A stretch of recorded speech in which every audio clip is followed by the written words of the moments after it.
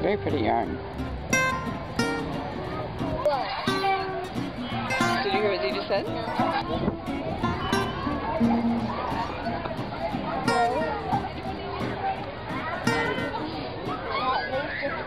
Why do you want to learn how to knit? Because it seems exciting and I might want to make things for a family. Good job.